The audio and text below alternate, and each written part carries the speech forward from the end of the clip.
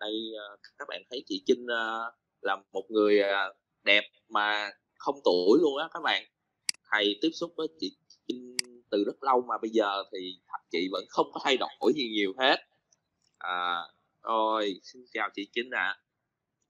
chào chị Trinh gửi lời chào đến các bạn ạ. À.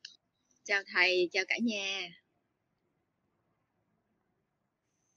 À, xin cảm ơn chị Trinh và ngày hôm nay thì đại diện cho bộ môn uh, ứng dụng phần mềm thì có thầy uh, Trần Quang Bình thì thầy cũng là một giảng viên rất là uh, gọi là được sự yêu mến của các bạn trong chuyên ngành và thầy cũng có những cái chia sẻ rất là hữu ích uh, đối với các bạn sinh viên về cái chuyên môn của mình thì uh, thầy xin mời thầy Bình uh, gửi lời chào đến uh, các bạn sinh viên ạ. À.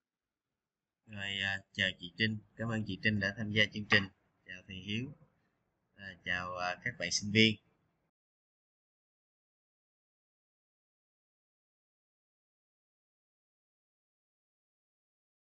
chúng ta tham gia cũng rất tốt. À, chắc là do thầy không à, không chú ý đến cái thời điểm ngày hôm nay là deadline của các bạn vì thứ hai tuần sau là thầy cô phải nộp điểm rồi. Cho nên là buổi hôm nay chắc là các bạn đang chạy deadline nhiều và những bạn mà đã vào ờ, phòng zoom ngày hôm nay, thì thầy tin rằng là các bạn đã hoàn thành tốt cái nhiệm vụ của mình ở bên trường về deadline, về à, ừ, các bài tập.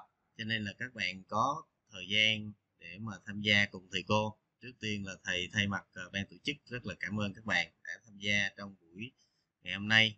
Và đó cũng là thái độ của các bạn à, trong cái à, quá trình học tập.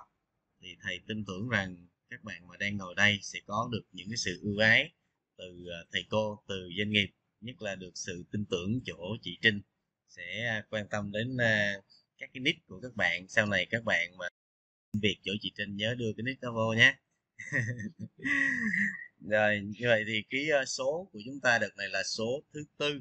Thì cũng kỳ vọng của thầy và ban tổ chức cũng như là bên chỗ doanh nghiệp cũng mong muốn định hướng cho các bạn trước những cái vấn đề mà khi chúng ta đi xin việc làm sao mà các bạn sẽ vượt qua được cái uh, rào cản từ cái kiến thức cho đến từ cái uh, không gian mà các bạn gặp gỡ được doanh nghiệp. Thì cái không gian về kiến thức thì chúng ta phải nắm bắt từ uh, trong quá trình học tập.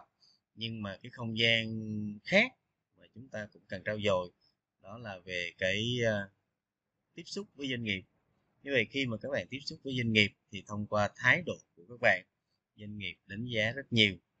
Vậy để mà phỏng vấn được, để mà tìm được một cái vị trí việc làm tốt thì các bạn có cả hai cái yếu tố này định là công việc của bạn sau này. Thì hy vọng là trong chương trình này của bộ môn ứng dụng phần mềm kết hợp với lại à, bộ môn kỹ năng mềm của bên cơ bản cũng như kết hợp với doanh nghiệp sẽ mang đến cho các bạn những cái à, điều bổ ích cho các bạn để mà tìm được cái công việc tốt sau này. Và cảm ơn các bạn. Cảm ơn uh, thầy Hiếu. Vâng xin cảm ơn uh, cái chia sẻ uh, mang tính chất định hướng của thầy Bình.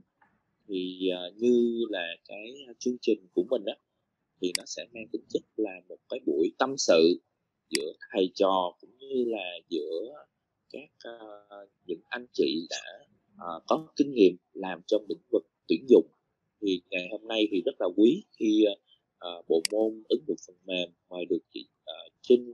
À, chị Trinh cũng là người đã có rất là nhiều kinh nghiệm trong vấn đề tuyển dụng cho các bạn sinh viên poly thì không biết là khi mà chị à, làm việc à, tham gia vào công tác tuyển dụng thì cái yếu tố nào ở các bạn sinh viên uh, nó sẽ là một cái yếu tố mà mang tính chất quyết định khi mà chị quyết định nhận bạn đó vào trong doanh nghiệp ạ à. xin mời chị có thể chia sẻ giúp cho các bạn ý này ạ à, cảm ơn uh, mc cảm ơn thầy uh, thầy mc thầy hiếu thầy hiếu ở trường hay gọi là thầy hiếu hot boy đúng không ta à, dạ, thầy hiếu lắm kêu ạ à. thì thật ra là là nhận tham gia cái buổi hôm nay á, là cũng do là cái chủ đề. Cái chủ đề à, trình độ và thái độ. Cho nên là vì cái chủ đề này cho nên là chị mới nhận tham gia. Bởi vì đây cũng là một cái điều nhức nhối ở trong uh, uh, doanh nghiệp. Uh, có nghĩa là đối với lại uh, đối với lại anh ta software thì anh ta software khi mà phỏng vấn các bạn thì đầu tiên á là sẽ nhìn vào cái thái độ trước. Còn à, trình độ thì à, sẽ xét ở cái thứ hai.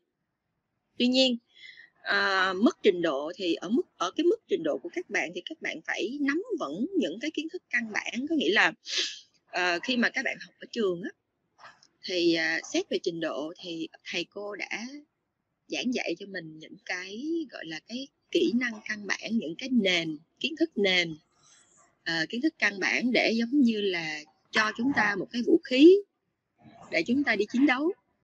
Mà còn khi chúng ta đi ra đấu trường rồi đó chị nói vui là ra đấu trường á chúng ta đi đi đi ra đời á thì chúng ta phải cần có uh, những cái cái cái cái uh, kinh nghiệm thực tế thì kinh nghiệm thực tế chúng ta chưa đi làm, chúng ta sẽ lấy ở đâu? Thì đó là doanh nghiệp. Thì doanh nghiệp sẽ là những người đào tạo cho các bạn về những cái kinh nghiệm thực tế, gọi là sẽ đào tạo thêm cho các bạn những cái kỹ năng, ngay cả về kỹ năng chuyên môn luôn. Nhưng mà à, những cái về chuyên môn nhưng mà, gọi là, những cái công nghệ của các doanh nghiệp mỗi doanh nghiệp nó sẽ khác nhau và người ta sẽ đào tạo cho các bạn về cái chuyên môn đó cho nên là đầu tiên người ta sẽ yêu cầu các bạn về thái độ trước. Bởi vì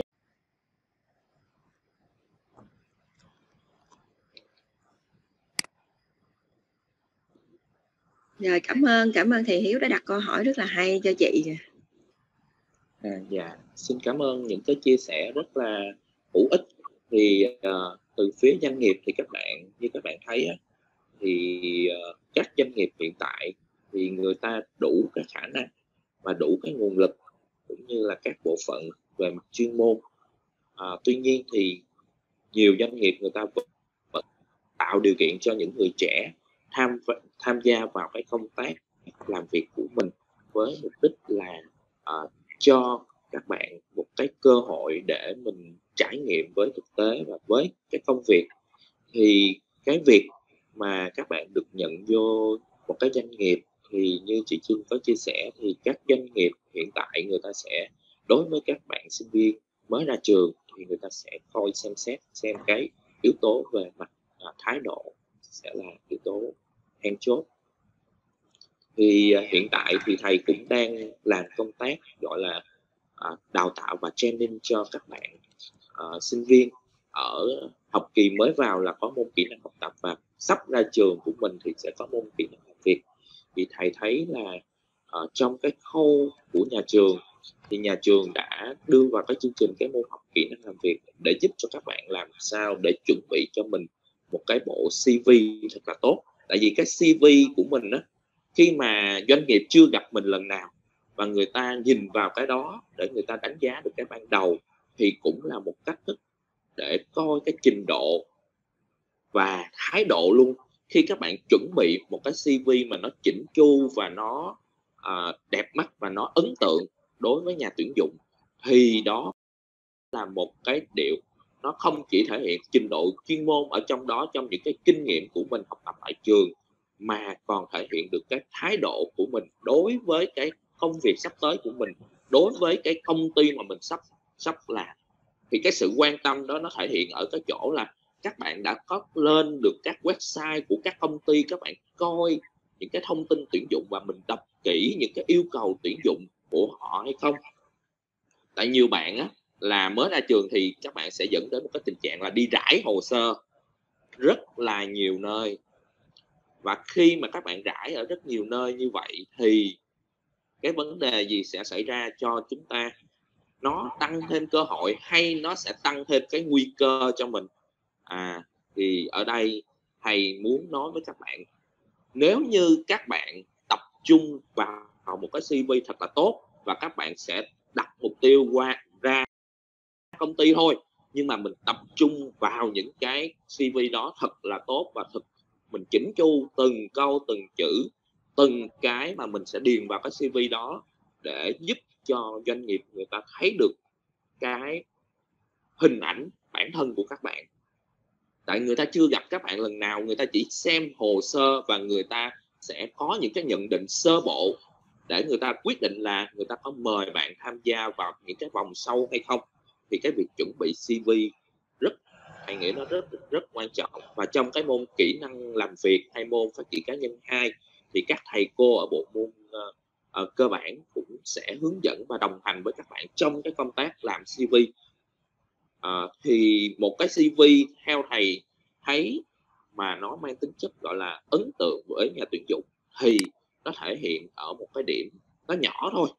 Nhưng mà nếu mà các bạn tinh ý các bạn tinh tế ví dụ như các bạn lên cái website của doanh nghiệp đó tại vì bây giờ hiện tại có nhiều cái trang web người ta sẽ làm cho, cho các bạn những cái mẫu CV và các bạn chỉ điền nội dung vào thôi đúng không? Ví dụ như là top CV đi thì nhiều bạn lên đó và các bạn chỉ cần điền thông tin của mình vào và mình chỉ điền theo mẫu thôi. Thế thì nếu tất cả chúng ta đều làm như vậy thì chúng ta sẽ không có một cái gì ấn tượng cả. Như vậy thì cái cách khác biệt của mình so với những người khác là gì? Thì về hình thức trình bày đi thì các bạn nên chú ý về cái gọi là cái màu sắc của cái CV á là mình có thể thay đổi được. Và màu sắc thì mình chọn màu sắc nào mình sẽ chọn cái màu sắc nó phù hợp với cái tông màu chủ đạo của bên cái cái nhà tuyển dụng. Người ta, cái website của họ họ sẽ có logo hoặc là có những cái bộ nhận diện thương hiệu á, thì các bạn sẽ dựa vào cái màu sắc chủ đạo đó để cái, cho mình cái màu nó phù hợp. Một cái điểm rất là nhỏ như vậy thôi, cho doanh nghiệp người ta thấy à cái người này xét về mặt tâm lý khi mà người ta xem một cái màu sắc doanh nghiệp người ta xem cái CV mà có cái màu sắc tương đồng với cái cái cái màu sắc của doanh nghiệp họ thì họ sẽ cảm thấy à cái bạn này hình như có vẻ là phù hợp. Cái đó là về một cái hiệu ứng tâm lý rất là nhỏ thôi nhưng mà nó cũng rất là quan trọng. Và trong CV ngoài cái màu sắc ra thì thầy nghĩ cái mà các bạn ghi vào ở trong CV đặc biệt là phần gọi là phần kinh nghiệm á, thì nhiều bạn đang gặp khó khăn rất là nhiều ở trong trong cái vấn đề là các bạn ghi cái kinh nghiệm. Như vậy thì cái kinh nghiệm các bạn là các bạn sẽ đặt câu hỏi là em mới ra trường thì kinh nghiệm ở đâu? Em làm gì có kinh nghiệm? Như vậy thì thầy nghĩ là chúng ta không có kinh nghiệm nhưng chúng ta sẽ có trải nghiệm các bạn. Đã học ở môi trường Epoli là một cái điều mà thầy thấy là uh, các bạn là một cái sự lựa chọn đúng từ ban đầu khi các bạn uh, lựa chọn đúng rồi thì các bạn sẽ thể hiện điều đó trong cái CV của mình. Ví dụ như là cái trải nghiệm mà các bạn đã học qua những cái môn học các bạn làm từng đồ án các bạn phối hợp với đồng đội của mình như thế nào thì những cái đó nó cũng được xem là những cái giá trị. Chứ không nhất thiết kinh nghiệm về chuyên môn là bạn phải đi làm cái này làm cái kia đâu mà là cái sự trải nghiệm của bạn và sau cái trải nghiệm đó bạn rút ra được cho mình cái giá trị gì? Và cái giá trị đó, các bạn hãy đưa vào những cái giá trị mà doanh nghiệp người ta cần. Chứ không phải là cái mình có không đâu các bạn. Cái mình có rất là nhiều, nhưng mình hãy lựa chọn những cái mà doanh nghiệp người ta cần mình đưa vào CV thì nó mới tạo nên cái ấn tượng. Nhiều cái đặc đặc điểm, nhưng mà cái, đối với cái vị trí, cái công việc đó, bạn nên ghi vào những cái giá trị nó tương thích với công việc đó cái vị trí mình ứng tuyển chứ không phải là mình có bao nhiêu mình ghi vô hết. Như vậy thì nó sẽ không để lại ấn tượng cho nhà tuyển dụng. À, chị thì có đó chị dạ, cho, chị. bổ sung một cái về cái kinh nghiệm. Thì à, đúng là các bạn à, đều thắc mắc là ủa em đang học rồi sao em có kinh nghiệm? Nhưng mà thực tế là trong quá trình học á các cái đồ án của mình là cái kinh nghiệm. Và uh, doanh nghiệp sẽ xem những cái đồ án của các bạn. Nếu mà chúng ta có đồ án cá nhân dự án cá nhân thì càng tốt. Còn nếu có dự án nhóm chúng ta vẫn có thể để lên được. Đó là kinh nghiệm của mình. Nhưng mà à, với bạn nào mà dự án nhóm á, mà mình làm trưởng dự án thì đó là một cái lợi thế cực kỳ lớn cho cho doanh nghiệp chọn lựa. Và chúng ta nên là khi mà chúng ta làm dự án á, à, không biết là có thể là sinh viên đây chắc chưa chưa có đi xin việc làm đâu. Thì khi làm dự án nhớ là up trên một cái link để dành. Ví dụ như là link GitHub hay là Google Drive để mà làm cái vốn của mình gọi là tài sản đó các bạn là tài sản để mà mình đi xin việc. Và trong cái CV á thì mình uh, ngoài những cái thông tin cá nhân à, CV thì nó sẽ có một số cái um, cái cái cái thông tin căn bản thì mình lên mạng là mình biết thông tin căn bản là gì. À, và mình khi mà mình điền đầy đủ hết thông tin căn bản thì nó sẽ có cái experience là cái kinh nghiệm á. Thì mình hãy để vào những cái link bài tập của mình. Link bài tập hay là link dự án mà dự án nào mà mình thấy là mình được đánh giá là tốt. Đừng để những cái dự án tệ để những dự án đánh giá nhiều điểm cao hay là những cái dự án mà giống như thầy Hiếu nói là hãy để những cái gì mà, gọi là, lợi thế của mình mà doanh nghiệp cần. Doanh nghiệp cần là sao? Ví dụ các bạn ứng tuyển front thì các bạn để nhiều dự án front vào và có thể các bạn có những cái dự án khác như là back end hay mobile, các bạn cũng để thêm vô giống như là các bạn show ra là ngoài cái việc mà tôi làm nhiều dự án front ứng tuyển front á à, em có thể làm thêm những dự án khác những cái team khác nếu tổ chức cần. Thì đó là một cái lợi thế của mình. Cho nên là à, không nhất thiết là phong end là cứ để phong end không hay là back end cứ để back end không mà mình cứ để thêm những cái dự án vào. Nhưng chú ý đặc biệt chị nhắc lại là hãy để những cái dự án làm kinh nghiệm là những cái dự án mà mình và mình được số điểm cao hay đánh giá cao. Thì đó là một số cái bổ sung về cái CV à, của của chị. Là khi chị tuyển dụng thì chị cũng nhìn vào à, những cái link bài tập của các bạn cũng như là bên ban chuyên môn họ cũng nhìn vào những cái link dự án của các bạn. Thì ai có dự án họ mới mời lên phỏng vấn còn CV các bạn mà không có dự án trong đó là họ sẽ đánh rớt cái vòng CV liền. Và lúc đó chúng ta chưa có cơ hội không có cơ hội để gặp à, cái ờ, ban chuyên môn để phỏng vấn luôn. Cho nên đặc biệt lưu ý là CV phải có cái link dự án. Rồi à, cảm ơn hiếu. Đó là những cái chị bổ sung thêm cho các bạn.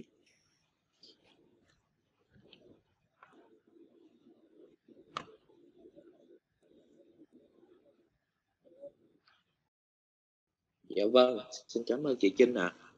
À, thì như thầy nói á, thì à, thầy chỉ chia sẻ cho các bạn hai ý thôi. Nhưng mà hai cái ý đó thì ít người để ý á. Thì nếu như các bạn à, muốn tạo ấn tượng với nhà tuyển dụng thì thầy nghĩ à, các bạn chuẩn bị hai cái điều đó ha. Thứ nhất là màu sắc.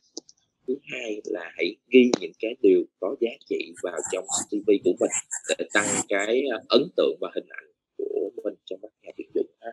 Thì uh, uh, cũng tiếp theo cái uh, phần câu hỏi mà ban tổ chức có nhận về của một bạn tên là bạn uh, Tô Minh Trí. Không biết bạn Trí có mặt ở đây không ạ? À, thì bạn Minh Trí á, có đặt ra một câu hỏi đó là các khách mời nghĩ sao về vấn đề chia bè phái ở công sở và cũng như là uh, cách mà các bạn sẽ điêu lương khi mà các bạn chưa có kinh nghiệm? Như vậy thì các bạn sẽ điêu lương như thế nào? Thì uh, xin mời chị Trinh có thể à, chia sẻ thêm cho các bạn.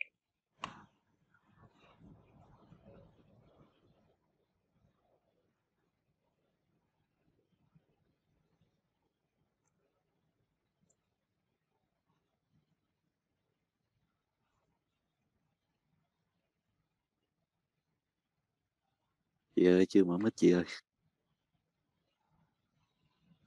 À, xin lỗi các bạn. À, thì cái câu này chị sẽ chia ra thành hai hai vế. À, cái thứ nhất là cái việc mà chia bè phái này công sở là câu thứ nhất. À, câu thứ hai câu thứ hai là là câu gì nhỉ? Chị quên mất thì hiếu nè câu thứ hai.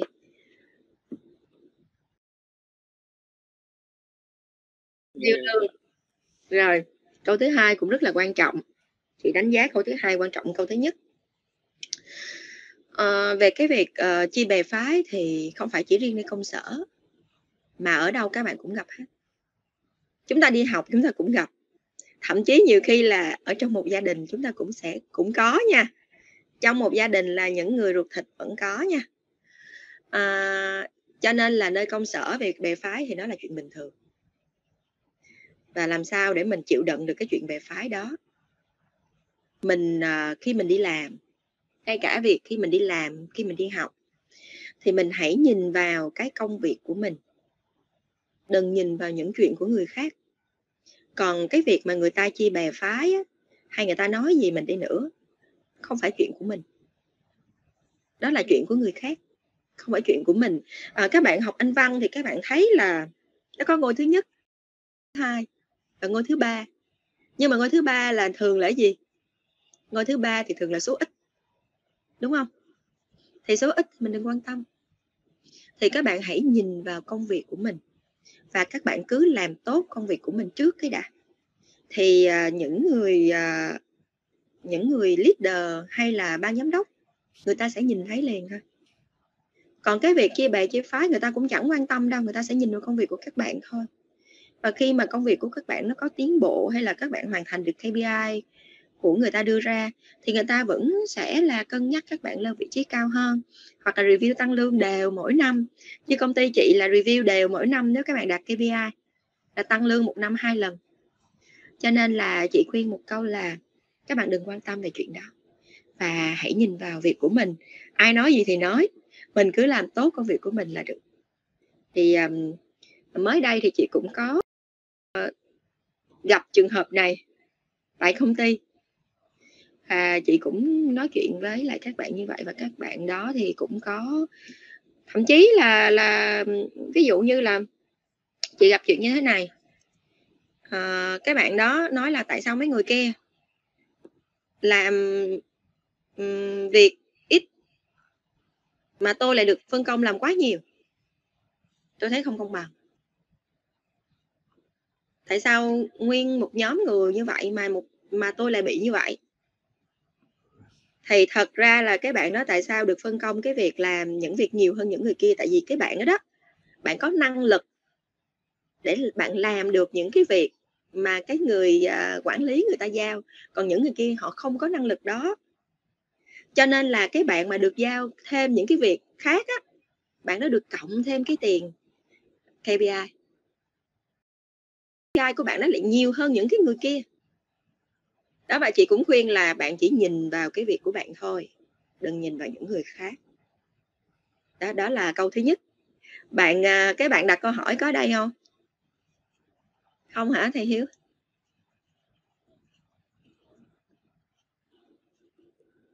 dạ bạn tô minh trí à. hình như câu Trí. trong ờ, tên dạ tên thì không thấy ở đây không biết có Ok. đổi tên không dạ. rồi bây giờ chị sẽ đi đến câu thứ hai à, câu thứ hai là làm sao để mà điêu lương khi mà đi phỏng vấn? Đây là một vấn đề khó khăn nhất đối với các bạn. Điêu ít quá thì sợ tôi bị lỗ. Ít quá chết rồi bị bị hố rồi bị lỗ. Mà điêu nhiều quá thì sợ người ta không tuyển mình. Không biết điêu làm sao. Thì à, có bạn để mức lương trong cv luôn. Thì chị có một cái lời à, khi mà các bạn làm cv á nếu mà ở mức fresher các bạn đừng để mức lương mong muốn trong cv à, ờ, tại vì mình là fresher đầu tiên á là mình tìm cái cơ hội để gặp người ta trước cái đã.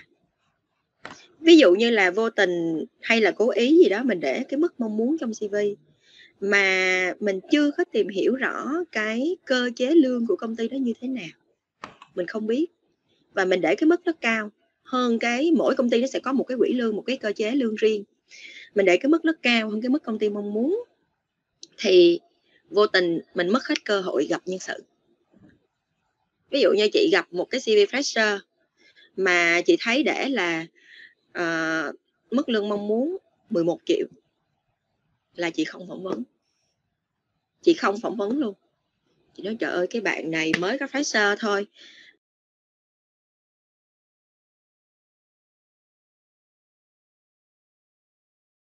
đó là cái cách. À, và vậy thì làm sao để mình điêu được cái mức lương đúng theo như là doanh nghiệp muốn? Làm sao mình biết được đây?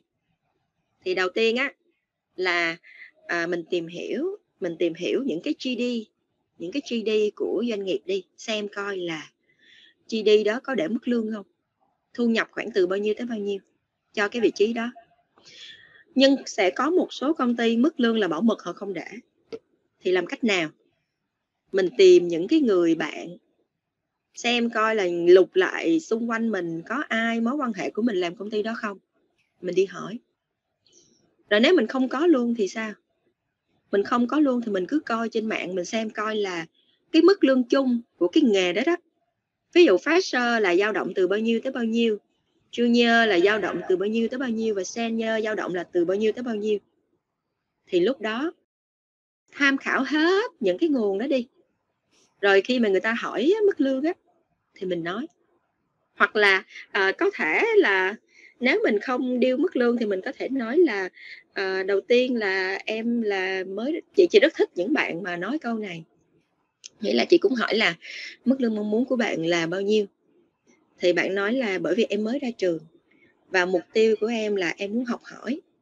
Em muốn học hỏi kinh nghiệm à, rồi khi công ty thấy em có một cái giá trị đối với công ty thì công ty cứ trao lại cho em cái giá trị tương ứng. Có bạn rất là rất là thông minh trả lời vậy là đốn tim chị liền. Thật ra là à, các doanh nghiệp họ đều có mức lương sàn hết rồi các bạn. Cho dù các bạn đi bao nhiêu đi nữa thì mức lương của họ cũng là cái mức sàn ví dụ như là uh, fresher thì từ uh, từ 7 cho tới 9 triệu uh, junior thì khoảng từ à, 10 cho tới 12 senior thì khoảng từ à, à, 13 cho tới 18 hoặc xuất sắc nữa thì tới hai mấy. Thì nó đều có mức sàn hết rồi. À, nhưng cho nên thật ra thì nếu mà giá trị các bạn cao thì giá trị đổi lấy giá trị thì người ta sẵn sàng là đổi lấy một cái giá trị tương ứng cho các bạn thôi. Cho nên các bạn đừng sợ là các doanh nghiệp sẽ bóc lột mình nó sẽ không có chuyện đó. Tại bây giờ thậm chí là các doanh nghiệp họ rất là cạnh tranh. Thậm chí là các bạn có rất nhiều cơ hội để xin việc làm chứ họ không có dám bóc lột đâu. Họ phải uh, uh, chuẩn bị là những cái chế độ đãi ngộ thật là tốt nè. Rồi những cái rồi môi trường làm việc họ phải uh, đầu tư. Làm sao mà để làm hài lòng các bạn? Để mà thu hút các bạn uh, về với doanh nghiệp và uh, gắn bó lâu dài với doanh nghiệp. Cho nên là uh, quan trọng là các bạn hãy trang bị cái chuyên môn thái độ của mình để mà đến với doanh nghiệp. Nhưng hồi nãy chị có chỉ mọi người cái cách trả lời đó mọi người có nhớ không? À, nói chung là cứ nhớ hôm nay là cái câu giá trị đổi lấy giá trị. Thì chúng ta cứ trả lời như vậy. À, em có ai nhớ lại cái câu chị chỉ là trả lời sao khi điêu lương không ta? Các bạn nào nhớ không?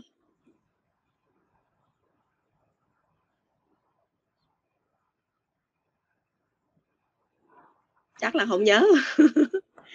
Thì nói chung là à, nếu mà điêu thì thì các bạn cứ điêu cũng được không sao nhưng cứ nghiên cứu kỹ. Còn nếu mà không dám điêu thì cứ nói như hồi nãy chị chỉ là em mong muốn là học hỏi và có thêm kinh nghiệm và mong là đem lại một cái giá trị nhất định cho công ty.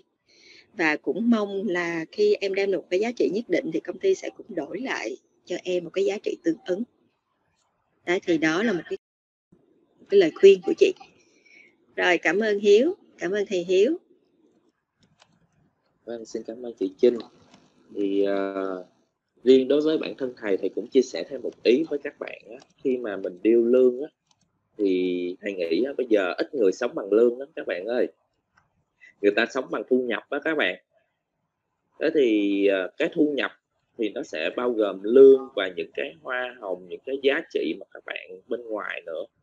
Thì nếu như mà các bạn thấy cái mức lương mà doanh nghiệp đang trả cho các bạn á nó ít hơn cái cái cái năng lực của các bạn thì mình sẽ điêu như thế nào? Ví dụ như ở công ty đó cái mức lương của người ta à, các bạn tìm hiểu ở các công ty bên ngoài à, rồi và các bạn nhắm ở cái vị trí đó rồi nhưng mà bây giờ mình sẽ nói với doanh nghiệp là uh, thí dụ như em làm hoặc là em làm ngoài giờ thì mình sẽ sẽ đặt cái vấn đề là khi đó thì cái thu nhập mình sẽ tăng lên đó các bạn.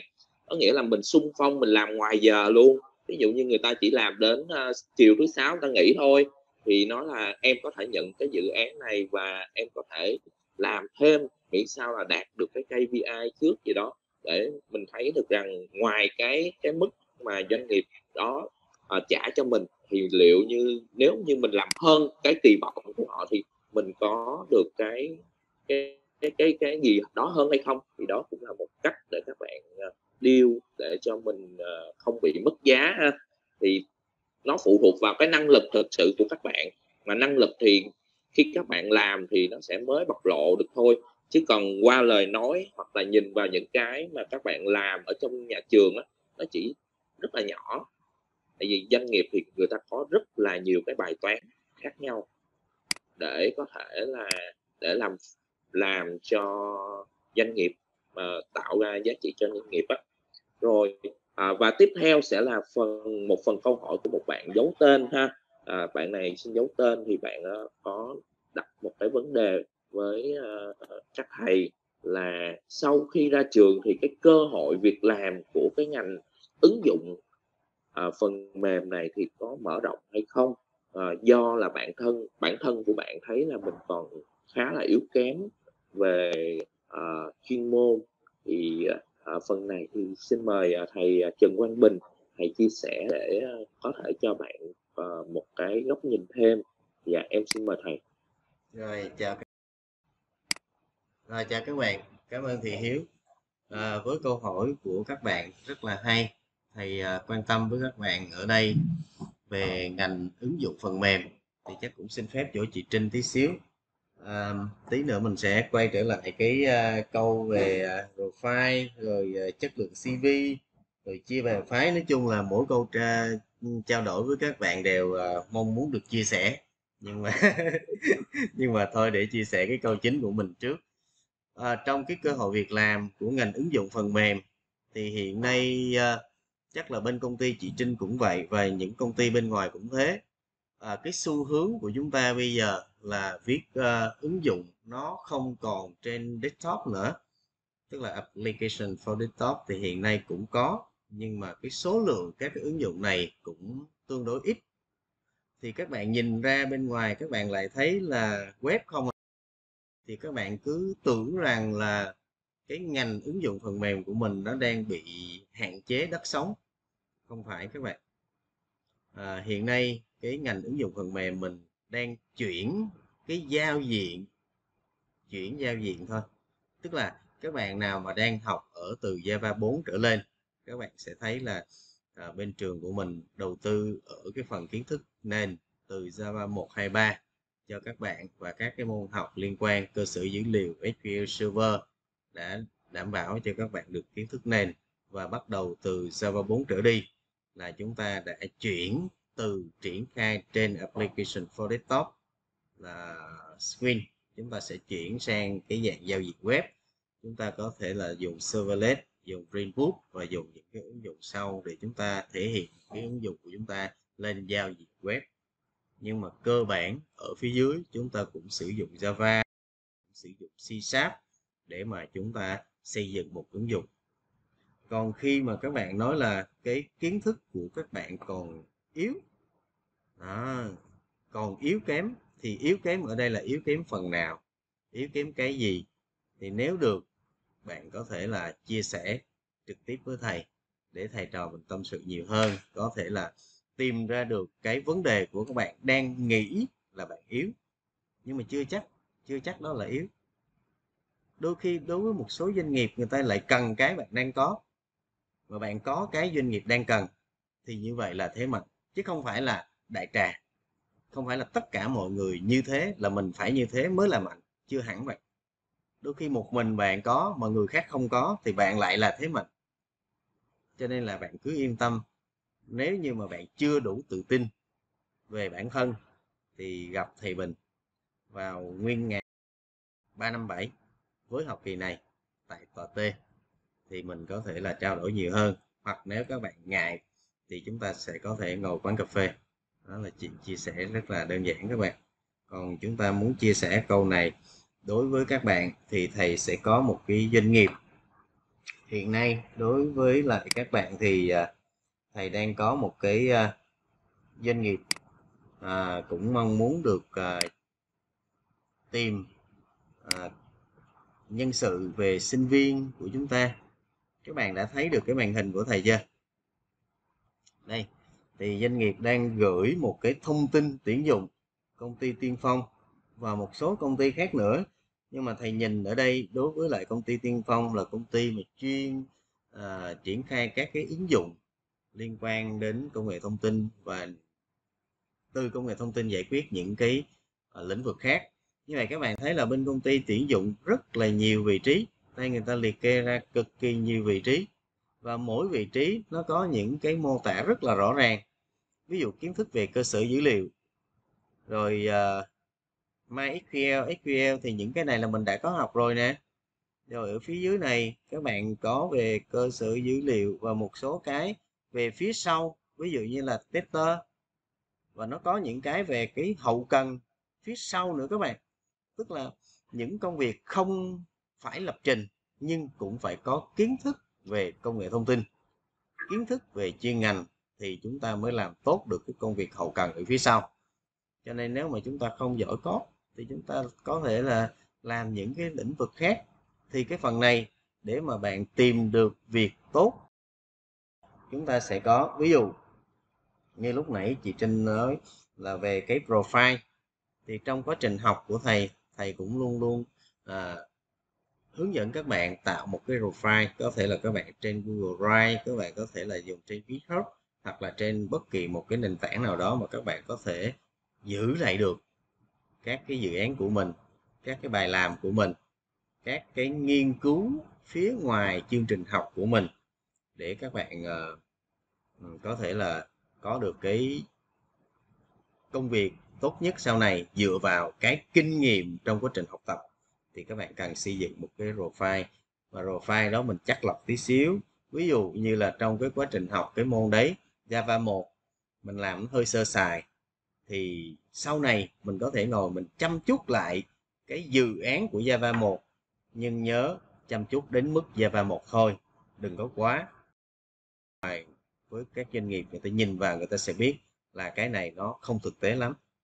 Như vậy thì các bạn sẽ chăm chút dần, chăm chút dần với lại cái dự án nhỏ của các bạn. Và các bạn đặt tâm huyết của các bạn vào bên trong thì các bạn sẽ có được kinh nghiệm. Mà khi mà các bạn đi xin việc như vậy thì cái cơ hội việc làm cho ngành nghề của chúng ta cũng rất là rộng mở, chứ không phải là không có. Rồi, cảm ơn thầy hiếu yeah, em xin cảm ơn thầy bình à, đã cũng chia sẻ với các bạn. Là chúng ta cũng cùng nhau à, chăm chút vào những cái uh, mặc dù nó rất nhỏ nhưng nó rất là quan trọng đó các bạn. Thì uh, thầy cũng chia, chia sẻ với các bạn một cái câu chuyện của một uh, nhà bất động sản uh, nổi tiếng của Trung Quốc là ông Yu Banlin thì ông này á, là thời trẻ ông ta rơi vào một cái tình trạng là thất nghiệp nhưng may mắn ông ta tìm được một cái công việc là, gọi là, cọ rửa toilet ở trong những cái nhà vệ sinh công cộng đó. và khi ông ta làm cái công việc này thì ông ta không có bận tâm vào cái công việc mình làm và bận tâm vào những cái lời chê bai của những người ở cái tầng lớp trên à, và ông ta có nói một cái câu nói là, nếu tôi là người cọ rửa toilet thì tôi cố gắng sẽ là người cọ sạch nhất trong công ty trong những người làm với mình. Như vậy thì ở đây là một cái câu chuyện mà thầy nghĩ nó nó nó nó sẽ truyền cho các bạn một cái động lực. Dù là hiện tại bản thân của mình nó chưa được tốt đi mình nhận định là mình chưa được tốt. Tuy nhiên tất cả mọi thứ trong cuộc sống của chúng ta đều có thể học được nếu như các bạn có được một cái à, thái độ cái tinh thần cầu tiến trong à, công việc và trong học tập thì không ai mà người ta sẽ từ chối cái cái sự hướng dẫn của, của người ta cho các bạn đâu. Khi các bạn đi làm sẽ có những cái anh chị người đi trước thì nếu như các bạn có một cái thái độ tốt thì chắc chắn người ta cũng sẵn sàng để chia sẻ và giúp đỡ cho các bạn. Nếu như các bạn uh, biết cách ha, biết cách và mình thể hiện bản thân của mình cách tốt nhất để cho mọi người thấy được rằng à em này tuy về kiến thức chuyên môn em chưa tốt nhưng mà cái cách em cư xử với những bạn bè đồng nghiệp với những người khác thì có một cái sự khác biệt người ta quý mến mình. Và khi người ta quý mến mình rồi thì mọi thứ nó trở nên dễ dàng hơn trong công việc của mình. Ha thì uh, xin cảm ơn thầy Bình rất là nhiều. Thì uh, xin đến với một cái câu hỏi tiếp theo của một bạn tên là bạn uh, Ờ, em có đúng không ạ? À? bạn Thanh Thái đúng không ạ? Phạm Thanh Thái thì bạn có đặt một cái câu hỏi là à, có cái cách nào để em có thể điều chỉnh cái thái độ của em à, đối với cái công việc mà em đang làm cách phù hợp hơn không? Có thể là lúc đầu em vào công ty thì em ít nói em chưa có thể hiện sự quan tâm nhiều đến mọi người xung quanh những cái vấn đề xung quanh thì có cái cách nào để giúp cho em điều chỉnh cái thái độ này hay không ạ? À? à, em xin mời chị Trinh có thể chia sẻ để giúp cho bạn tháo gỡ cái mắt của mình thật sự câu này là một câu hỏi khó đó. Tại vì cái à, thái độ cái thái độ nó còn liên quan đến cái thói quen. Nó bị ảnh hưởng bởi cái thói quen. Mà cái thói quen của mình á thì nó sẽ nó nó sẽ là một cái tạo ra, một trong những cái tạo ra cái tính cách. Cũng xuất phát từ một một một trong những cái tạo ra từ cái thói quen của mình.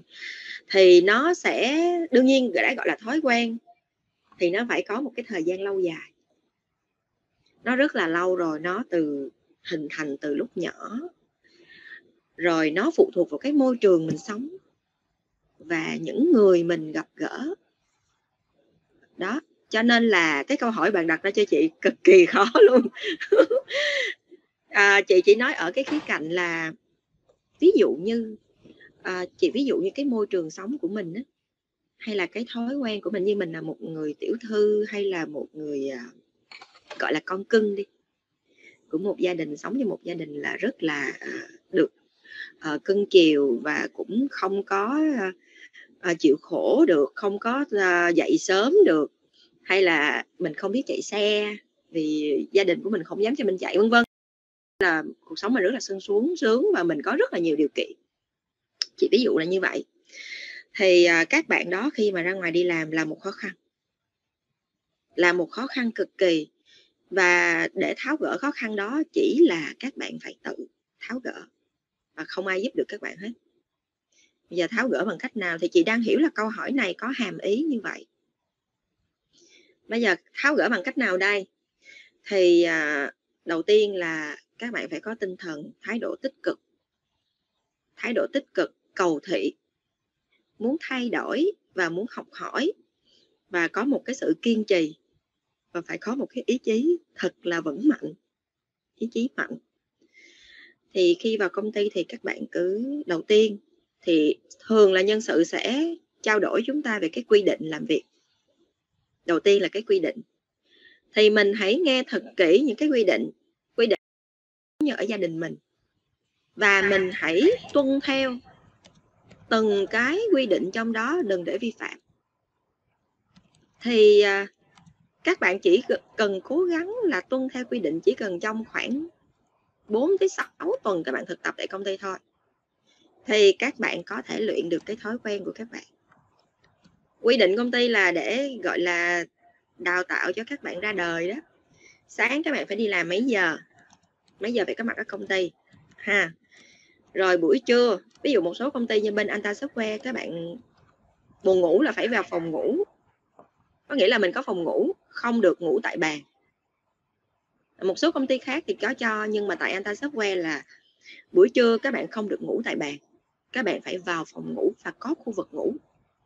Tại vì là à, tại à, công ty bên đây thì là công ty công nghệ và rất là nhiều đối tác tới tham quan. Và họ lúc nào thì họ tới thì nếu mà mình nằm xuống cái bàn đó mình ngủ thì nó tạo ra một cái môi trường nó nó nó nó không được đẹp lắm. Cho nên là công ty sẽ có trang bị phòng ngủ có phòng tắm có phòng giặt cho các bạn có phòng tập gym luôn. Khi ngủ thì chúng ta phải vào phòng ngủ đó là cái đó cái quy định đó rất là khó đối với đối với sinh viên thực tập luôn. Tại vì khi chị nhận các bạn thực tập á chị đi một vòng buổi trưa là chắc chắn là có đứa nằm gục xuống bàn. Và chị phải nhắc nhở. Cho nên là các bạn cứ cố gắng à, tóm lại các bạn cứ cố gắng tuân theo quy định thực tập theo cái quy định của công ty. Trong 10 tuần thực tập tại công ty. Cái thứ hai ngoài cái quy định à, về kỷ luật thì nó sẽ có cái quy định về công việc ví dụ như là deadline, ngày đó phải giao là các bạn phải đúng deadline. Rồi à, trong quá trình làm dự án của công ty hay là trong các, mấy cái bài tập công ty giao, phải báo cáo tiến độ.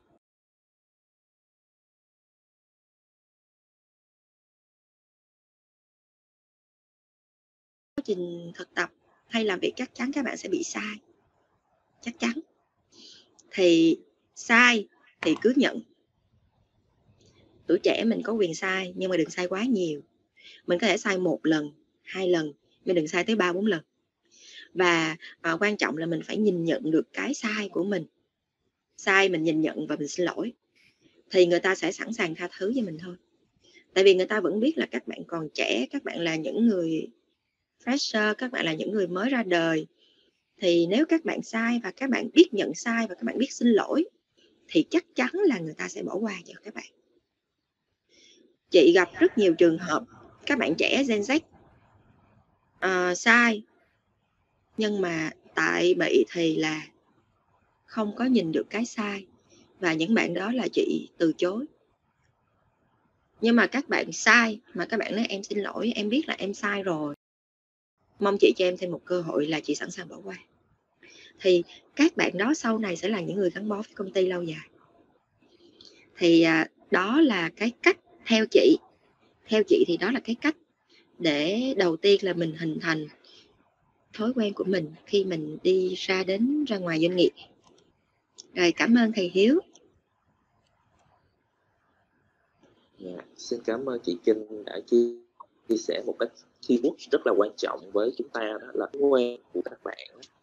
Thì thầy rất là đồng đồng ý với chỗ chị Trinh cái vấn đề này các bạn cái thói quen nó sẽ quyết định trên cái hành động và cái tính cách của các bạn. Và khi mà tính cách thì nó nó nó sẽ rất là khó để thay đổi. Tuy nhiên tuy nhiên nếu như mình nghĩ là nó không thay đổi được thì mình sẽ không thay đổi đó. Mà mình phải nghĩ là mọi thứ có thể thay đổi. Vị trí công việc gì cũng có thể thế thì mình hãy thay đổi. Và trong những cái nghiên cứu về khoa học trong mảng tâm lý á, thì người ta thấy được rằng để thành lập một cái thói quen mới thì sẽ mất một cái khoảng thời gian là 66 ngày, là tương đương khoảng 2 tháng các bạn á. Thì nó giống như là cái giai đoạn mà các bạn thử việc, thường thường người ta cho các bạn thử việc hai tháng, đúng không? Đó, thì người ta sẽ tận dụng cái thời gian này để cho các bạn thay đổi những cái thói quen của mình. Và người ta quan sát các bạn rất là nhiều trong cái giai đoạn thử việc này để quyết định là có ký chính thức với các bạn hay không đấy thì như vậy thì cái thời gian mà các bạn luyện tập hình thành thói quen thì thường nó sẽ chia làm ba giai đoạn là 22 ngày 22 ngày và 22 ngày. Thì trong cái giai đoạn đầu tiên 22 ngày đầu tiên là cái giai đoạn mà khó nhất. Tại vì mình đã hình thành trong cái nếp nghĩ và cái cái hành động của mình rồi nó có thể đi vào trong cái vô thức của các bạn mà các à, thì mình sẽ phải điều chỉnh trong 22 ngày đầu tiên này và các bạn sẽ cảm thấy khó chịu và nó đi ngược với cái cái gì mà mình đã được lãnh nhận từ đó đến giờ. Mình vô một cái môi trường mới thì nó sẽ có một cái sự ngược như vậy. Nhưng nếu như bạn vượt qua được 22 ngày thì nó sẽ đến cái giai đoạn ổn định hơn. Cái thói quen của mình nó sẽ bắt đầu hình thành, thói quen mới nó sẽ bắt đầu hình thành. Ví dụ như các bạn chạy sớm vào lúc 5 giờ để các bạn chạy bộ đi thì 22 ngày đầu tiên sẽ là vất vất vả rất nhiều. Nhưng sẽ đến cái ngày 23 là bắt đầu các bạn sẽ tự tự động dậy vào cái giờ đó luôn. Và nó sẽ hình thành một cái cơ chế về mặt sinh học à, đồng hồ sinh học cho các bạn. Và mình sẽ tự thức dậy và mình rèn luyện và mình thấy cái đó rất là bình thường. Rồi 22 ngày cuối cùng nó sẽ là cái giai đoạn gọi là củng cố và duy trì cái thói quen đó. Có nghĩa là mình đã sẽ nâng cấp lên mình sẽ uh, cần phải mọi người nhắc nhở này nọ. Nhưng cái giai đoạn này thì các bạn cái tính tự giác nó sẽ tăng lên rất là nhiều. Đó thì thầy nghĩ là các bạn cố gắng để thay đổi thói quen thì mình cần phải từng bước từng bước một ha để mình vượt qua cái giai đoạn đầu tiên. Có được giai đoạn đầu tiên rồi vượt qua giai đoạn đầu tiên thì thầy nghĩ là nó sẽ có một cái cái đà để cho các bạn thay đổi được tốt hơn à, và bây giờ theo cái uh, những cái câu hỏi các bạn gửi về thì còn một cái câu hỏi đó là nhờ thầy Bình giúp cho các bạn thấy được cái mối liên hệ giữa cái trình độ và cái thái độ trong cái công việc. Như vậy thì nó liệu nó có phải là hai cái đối lập nhau hay không hay nó như thế nào? Thì uh, xin mời thầy Bình có thể chia sẻ thêm cho các em ạ. Rồi cảm ơn thị hiếu. À, chắc cũng thần giao cách cảm quá. Tại vì ghi ra phía ngoài này rất là nhiều thứ liên quan đến trình độ và thái độ. Thì lại được à, thì hiếu đặt một cái câu hỏi rất là hay. À, lúc nãy giờ chúng ta đang chia sẻ với các bạn về trình độ và thái độ nhưng mà hình như mình đang nhìn là trình độ là à, các bạn đang hơi thấp các bạn đang chưa tự tin các bạn đang cảm giác rằng là mình chưa đủ trình độ nhưng giả sử có những bạn trình độ có thừa mà thiếu thái độ thì sao có không biết là bên công ty chị Trinh tuyển dụng có hay gặp trường hợp này không chứ bình à, đối với những bạn à, nói chung là trình độ có thừa mà thiếu thái độ thì nhìn ra rõ lắm yeah. Dạ. nhìn là biết liền à, từ cái à, gặp mặt ban đầu là phát hiện ra ngay yeah. Dạ. à, những bạn trong CV sẽ không thể hiện điều đó đâu. CV không thể hiện điều đó đâu. Nghĩa là những bạn mà trình độ gọi là là, là gọi là xuất chúng mình hay nói vui là xuất chúng à, nhưng mà trình độ xuất chúng ví dụ các bạn giỏi thì các bạn đầu tư CV nó cũng kỹ lắm. Nhưng mà thái độ sẽ thể hiện ngay cái buổi mà gặp mặt cái buổi mà các bạn đến đó, là nó sẽ thể hiện ra ngay. Mà nếu cho dù các bạn có giấu được cái buổi đó đi nữa thì hai tháng thử việc là lòi ra ngay thì uh, cái đó không phải riêng doanh nghiệp mình đâu mà đa số người ta nói chung là giống như là người ta hay nói là có có nghĩa là có tài nhưng mà các bạn phải đi với đức. Còn có tài mà không có đức thì người ta cũng không thể nhìn nhận mình được. Nên đối với những bạn trình độ mà gọi là rất giỏi nhưng mà thiếu thái độ thì uh, doanh nghiệp một lúc nào đó nói chung là khi họ phát hiện ra thì họ cũng sẽ là ngưng hợp tác ngay thôi. Chứ cũng không có lâu được không lâu dài được. Ừ, cảm ơn chị Trinh thì uh, đó cũng là cái ý mà thầy muốn chia sẻ với các bạn. Như vậy thì cái thái độ ở đây chúng ta đang à, nhìn ở một cái thái độ chưa tốt của các bạn. Nhưng giả sử trình độ của các bạn tốt và thái độ của các bạn đôi khi cũng muốn thể hiện trình độ đó ở công ty nhưng được lòng bao nhiêu người cũng quan trọng. Đó là bè phái đó các bạn nó dẫn đến bè phái trong công ty mà bạn giỏi quá, cái gì bạn cũng biết hết. Nói gì bạn cũng góp ý được. Và gần như tất cả mọi người đều lu mờ phía sau bóng dáng của bạn. Thì bạn phải điều chỉnh cái gì? Nếu như mà mình muốn tồn tại ở công ty đó, thì mình là ai? Và mình sáng đến chừng nào là đủ? Và làm như thế nào để hài hòa với mọi người? Chứ mình đừng có sáng quá. Thực sự các bạn nếu như bạn sáng quá thì bạn có thể tìm hội để cái khả năng của mình nó sáng nhiều hơn, rực rỡ hơn ở một môi trường mới. Còn môi trường cũ, nó phòng nó nhỏ quá mà bạn bắt một cái cái cái cái bóng đèn nó quá bự thì không phù hợp. Như vậy thì chúng ta điều chỉnh cả hai phía. Một là chúng ta chưa tốt thì chúng ta điều chỉnh cho tốt. Một chúng ta quá tốt thì chúng ta điều chỉnh cho nó phù hợp với cái môi trường cho nên giữa trình độ và thái độ nó liên hệ với nhau rất nhiều.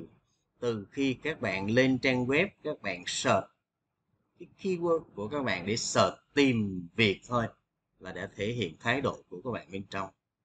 Như vậy khi mà các bạn có một cái keyword rồi, các bạn search rồi ra một trang, hai trang, ba trang, bốn trang và bạn có kiên nhẫn đọc đến trang thứ tư không? Bởi vì trang một, trang hai, trang ba đa số là chạy word ad các bạn chạy google, chạy quảng cáo, doanh nghiệp chạy quảng cáo để nó đẩy lên trang đầu. Vậy những trang phía sau đó, bạn có đủ kiên nhẫn để bạn ra đến trang thứ tư bạn đọc không? Như vậy đó cũng là thái độ. Cái tiếp theo, khi bạn đọc rồi, vậy bạn đọc kỹ cái thông tin mà người ta muốn tuyển dụng các bạn không? Hay bạn chỉ đọc, bạn thấy là ứng dụng phần mềm là bạn cứ nộp đơn? Và khi bạn chuẩn bị vào như thầy hiếu nói là sau khi ra trường, bạn lấy 10 cái cv bạn gửi 10 công ty. Hay bạn đọc 10 công ty, bạn chỉ chọn ba công ty để gửi. Vậy lúc mà các bạn đọc thông tin, các bạn đã chắc lọc được thông tin chưa? Đó, như vậy trình độ của các bạn đến đâu? Các bạn đọc thông tin như thế nào? Mình chọn lựa những cái công việc phù hợp với lại cái trình độ của mình thì nó thể hiện thái độ. Và có một cái kinh nghiệm của chính thầy. khi đi phỏng vấn. Thì ờ, lúc thầy học thầy được giữ lại trường và làm việc ở trung tâm tin học của đại học. Và kim ờ, giảng dạy ở ờ, dạng trợ giảng của đại học bách khoa. Thì có một cái công ty tin học người ta tuyển dụng, người ta đến người ta tuyển dụng thì lúc mà thầy biết thông tin tuyển dụng và thầy chạy về. Thì lúc này là cái cô thư ký của đi ra cửa và cổ trả hồ sơ. Cổ trả hồ sơ. Thì cô thư ký nói là bây giờ đã trả hồ sơ rồi mà em đến em xin việc thì làm sao mà nhận được? Thì uh, lúc đó cũng tỏ vẻ là đau khổ tí xíu. Thực sự là không biết thông tin chỉ mới biết thôi. Nhưng mà nói nhỏ với cô thư ký thôi bây giờ đường nào cũng lỡ rồi và đường nào em cũng đã chạy đến đây và sếp vẫn đang còn ở đây. Thôi coi như chị làm phước. Mang cái cv này vào, giúp em một lần. Thử xem sao, rồi em mãn nguyện.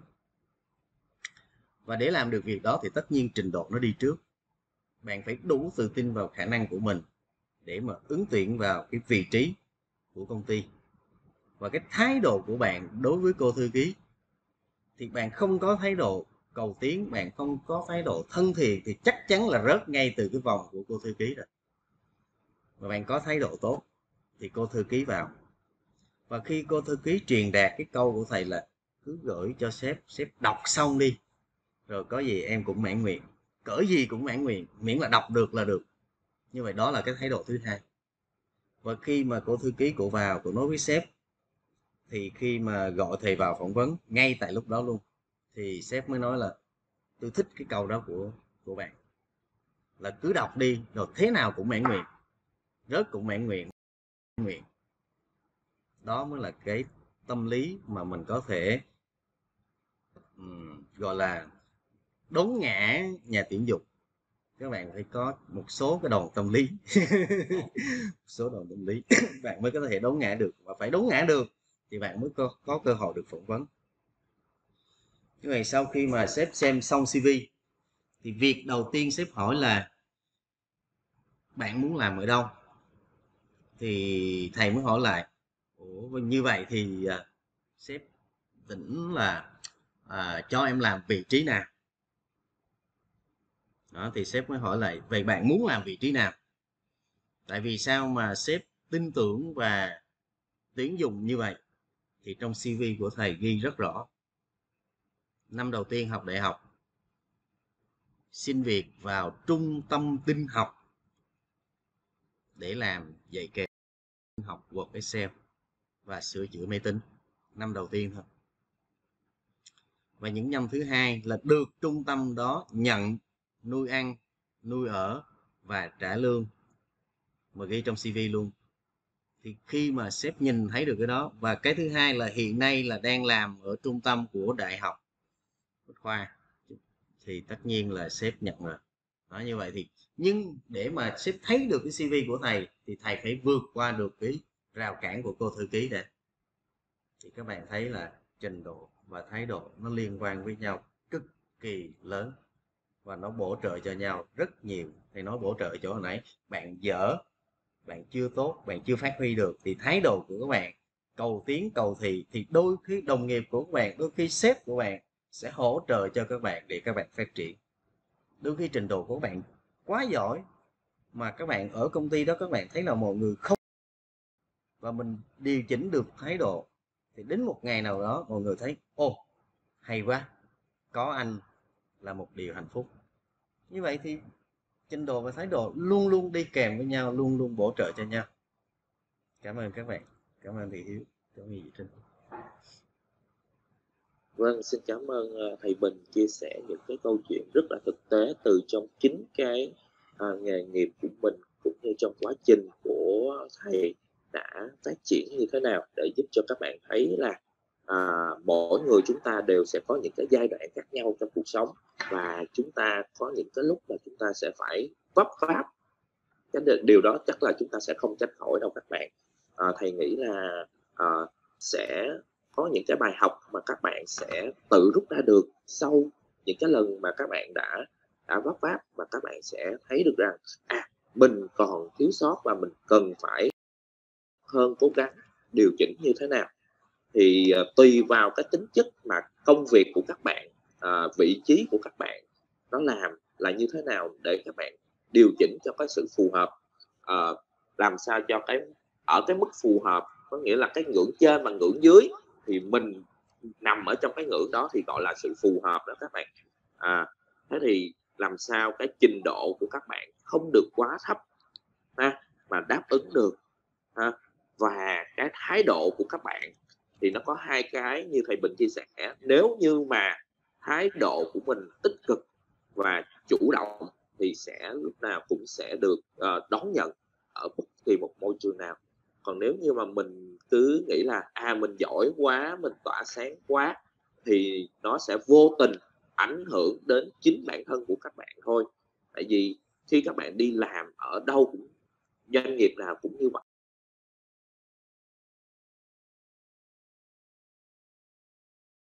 Mình sẽ phải điều chỉnh bản thân của mình cho phù hợp với cái môi trường đó. Và khi các bạn đã uh, ở trong và thích nghi được với cái điều đó thì thầy nghĩ là nó sẽ là giúp cho các bạn phát triển trong cái nghề nghiệp của mình. À, chẳng những là trong nghề nghiệp đâu mà sau này nếu như những bạn nào mà có khả năng tốt thì các bạn sẽ trở thành những người điều hành một cái doanh nghiệp. Thì đó trong quá trình các bạn đi làm thêm này nọ thì nó sẽ là giúp cho các bạn điều hành được tốt cái doanh nghiệp vì mình đã từng trải qua vị trí đó rồi nên các bạn sẽ biết được cái người nhân viên của mình sẽ suy nghĩ và hành động hoặc là có những cái tư xử như thế nào. Thì lúc đó nó sẽ là một cái bài học rất là quý báu để các bạn hình thành một cái doanh nghiệp cho riêng của, của mình.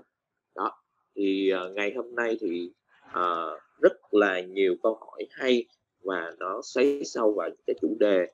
Uh, tuy nhiên thì cũng rất là muốn nghe trực tiếp hôm nay uh, đặt câu hỏi luôn trực tiếp cho ở chỗ thầy Bình à, về kiến thức chuyên môn chỗ chị Kinh liên quan đến vấn đề tuyển dụng và có thể là thầy liên quan về vấn đề những cái kỹ năng làm sao để trả lời thuyết phục nhà nhà tuyển dụng đó. Thì các bạn có thể chủ động đặt câu hỏi qua bằng cách mở mic lên mình đặt câu hỏi trực tiếp hoặc mình à mình giơ tay trước đi ha để dành cái sự ưu tiên cho những bạn giơ tay à, hoặc nếu bạn nào ngại á, thì các bạn có thể thay pin vào trong cái mục chat để chúng ta có thể à, đặt câu hỏi ha. Rồi thì chắc là sẽ mời các bạn ha. Phần này thì mình nên tận dụng cái thời gian này ha các bạn. Đây là một cái cơ hội rất là uh, quý báu mà chỗ. Ờ, uh, quý thầy cô cũng như là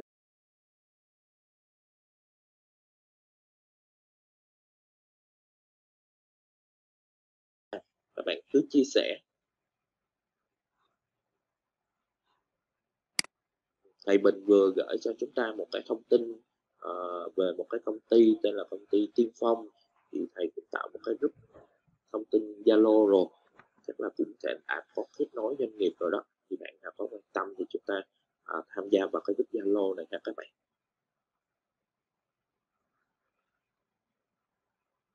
Các bạn nữ à hôm nay thấy có các bạn nữ cuối tuần mà không có đi à, không có đi chơi mà ở nhà. Chắc là à, các bạn cũng quan tâm chỗ bạn Kim Ngọc với Vĩnh Nghi nè. Các bạn có muốn đặt câu hỏi gì với à,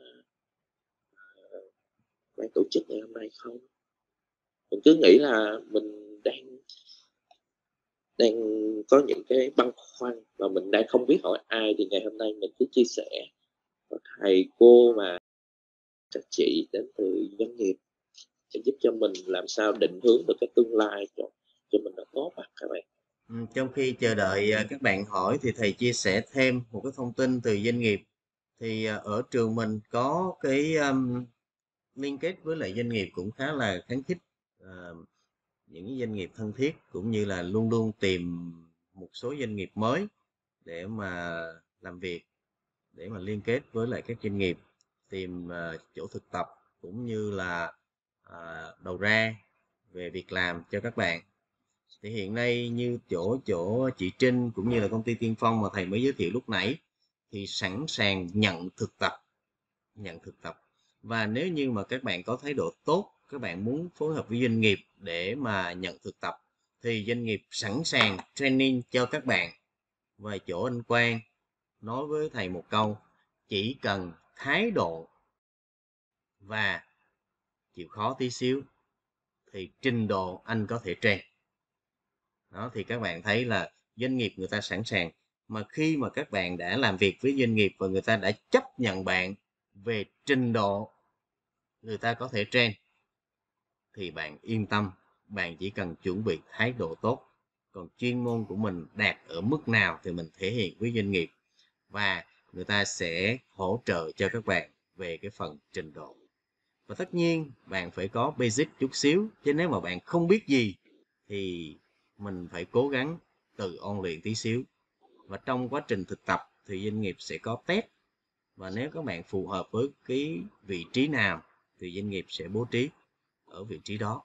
Còn nếu như mà thái độ các bạn không tốt thì rất là khó được bố trí vị trí tại doanh nghiệp. Như vậy các bạn hết sức yên tâm bởi vì trong cái cái yêu cầu thì doanh nghiệp uh, ghi là luôn luôn là trình độ à, kinh nghiệm lớn hơn bằng một năm. Nhưng mà cái một năm đó đó nó có thể là một năm hoặc là vài tháng thực tập tại doanh nghiệp là người ta đánh đồng luôn cái chuyện là một năm đó các bạn cho nên các bạn hết sức yên tâm và tìm đến những doanh nghiệp giống như là anh ta hoặc là tiên phong mà thầy giới thiệu lúc nãy. À, có một bạn à, hỏi ở trong à, chat box. À, bạn à, Nguyễn Hà Thiên Phúc. À, bạn Phúc hỏi là là bạn muốn biết là nếu mà chưa có kinh nghiệm về vị trí dev thì có thể thực tập tại công ty không? Thì à, thật ra là thực tập nghĩa là sao? Thực tập nghĩa là để mà à, cho các bạn có một cái kinh nghiệm thêm có thêm kinh nghiệm để đi làm. Cho nên là tại anh ta là à, không cần các bạn phải có kinh nghiệm về vị trí dev mới đi thực tập được. Mà nếu mà bạn có kinh nghiệm ở vị trí dev rồi thì các bạn cứ ứng tuyển chính thức. Không cần phải đi thực tập. À, cho nên à, cho nên là nếu chưa kinh nghiệm các bạn vẫn vẫn apply vào. Và thậm chí là anh ta software còn đầu tư một cái lab kế bên trường của chúng ta luôn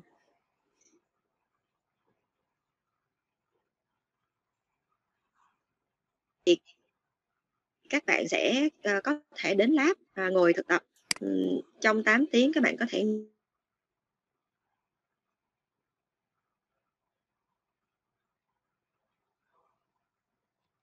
hình như là tín hiệu ờ, bên chỗ chị Trinh đang hơi nó, nó hơi ngắt quãng à. tại vì trường nên là bạn Phúc à nãy giờ mình không nghe được rõ hả đúng rồi nó hơi bị uh, giật tí xíu ngắt quãng nó hơi bị vậy à, bây bây giờ mọi người nghe rõ chưa? Rồi à, bây giờ mình nhắc lại à, câu chắc trả lời lại câu của Nguyễn Hà Thiên Phúc. Thì à, tại anh ta software thì nếu các bạn có kinh nghiệm về dev rồi thì các bạn cứ ứng tuyển chính thức không cần phải qua thực tập. À, còn à, các bạn chưa à, có nghĩa là các bạn à, chưa có kinh nghiệm thì đương nhiên là anh ta software sẵn sàng sẵn sàng nhận các bạn thực tập và chỉ nhìn vào cái thái độ của các bạn để mà nhận chúng ta thực tập thôi chưa nhìn vào trình độ chuyên môn chưa nhìn vào trình độ chuyên môn đâu. À, về chuyên môn thì người ta sẽ coi là à, chúng ta thích hợp có nghĩa là chúng ta có đáp ứng được cái yêu cầu mà gọi là trong cái mô tả công việc ấy giống như hồi nãy thầy hiếu có nhắc là à, khi chúng ta apply ở một vị trí nào thì chúng ta phải đọc cái mô tả công việc của vị trí đó. Thì ví dụ như là các bạn tuyển phong muốn ứng tuyển thực tập phong end thì các bạn nên coi coi là phong end yêu cầu cái gì. Hay là back end thì back end yêu cầu cái gì. Thì à, chúng ta coi coi chúng ta có phù hợp hay không. Thì khi chúng ta thấy là chúng ta có thể đáp ứng từ 70 đến 80 phần trăm cái yêu cầu công việc là chúng ta có thể ứng tuyển chính thức à, xin lỗi ứng tuyển thực tập rồi. Thì tại Anta Software thì à, ví dụ như là à, chúng ta ứng tuyển frontend thì à, yêu cầu là chúng ta phải biết về React.js chỉ cần biết ít nhất là hai tháng có thể thực tập. Ví dụ như là backend thì yêu cầu chúng ta có biết về .NET MV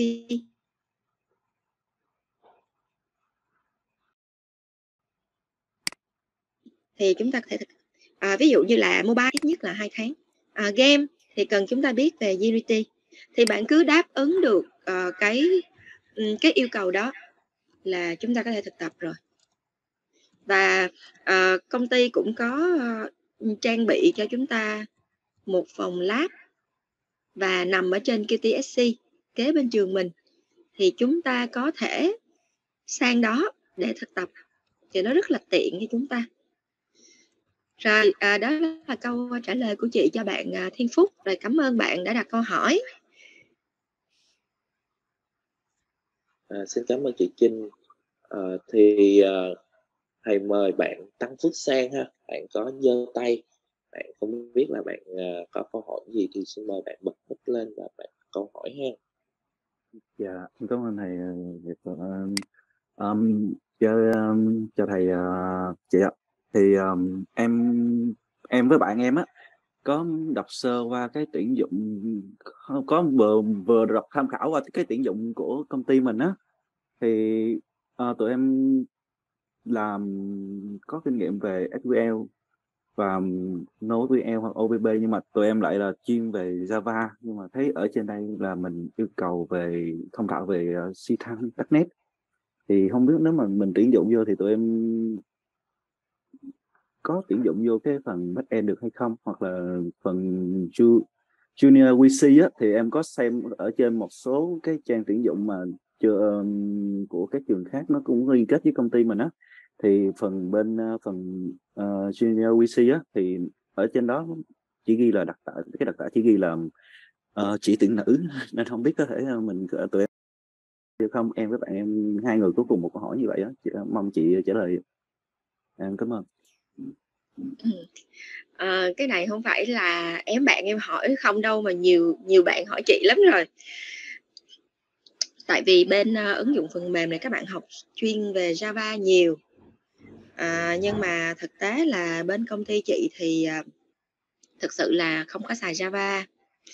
À, nhưng mà chị có hỏi thăm thầy Lộc á thì thầy là Lộc nói thầy Lộc nói là các bạn mà đã từng học đã học Java rồi thì nếu mà các bạn thích uh, đi về back end bên .NET và C Sharp á. Thì uh, các bạn học rất là nhanh. Các bạn học nhanh chứ không sẽ không mất nhiều thời gian. À, và do đó nên chị cũng có nói với thầy là nếu mà các bạn các bạn chuyên về Java nhưng mà nếu mà các bạn yêu thích anh ta và à, các bạn muốn là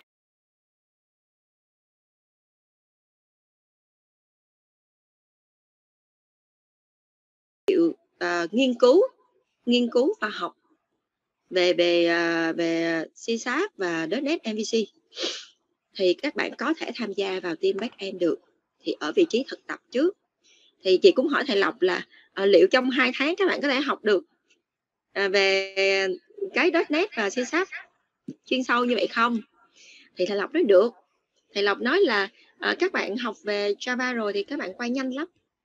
Nên là chị mới bàn với thầy Lộc là vậy thì nếu mà bạn nào đồng ý bạn nào đồng ý mà chịu chịu à, tự nghiên cứu thêm à, thì tham gia vào cái team à, trước khi mà tham gia thực tập bên chị á thì cố gắng nghiên cứu thêm khoảng từ 4 đến 6 tuần về .NET và C Sharp trước đi. Rồi xong rồi chúng ta vào à, thực tập tham gia thực tập và chúng ta lên lab. Thì các bạn nếu mà lên trên lab của trên cái TSC á thì bên chị có mentor à, thầy mentor cho các bạn là cũng là mới vừa vào trong poly vậy luôn. Thì ảnh à, anh anh anh mentor ảnh một tuần ảnh có ở trên lab khoảng 1 tới 2 ngày. Thì nếu mà chúng ta chịu khó lên đó để chúng ta ngồi chúng ta tự học bên chị sẽ trang bị các bạn cái phòng đó chúng ta ngồi tự học. Rồi à, có ảnh lên các bạn có thể hỏi. Đúng rồi anh cường. Bạn trường an mới biết là anh cường thì các bạn có thể hỏi bắt ổng lại để hỏi để kêu ổng đào tạo thêm cho các bạn. Nha. À, cho nên là đừng lo. À, chỉ cần là chúng ta cố gắng thôi.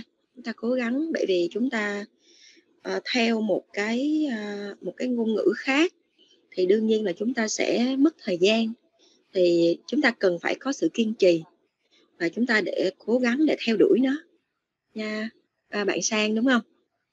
Rồi cảm ơn bạn sang đã câu hỏi của em chắc là nhiều bạn cũng hỏi đó rồi cảm ơn em rất nhiều dạ, Rồi, dạ cảm ơn chị Dạ, cảm ơn chị Trinh. Rồi cũng bổ sung cho các bạn à, một à, chút xíu chỗ này. Khi mà các bạn đã học về công nghệ thông tin thì nếu mà các bạn nắm chắc được giải thuật, nắm chắc được các cái thuật toán, nắm chắc được cái quy trình thì đó là cái xương sống. Còn ngôn ngữ nó giống như da thịt vậy đó.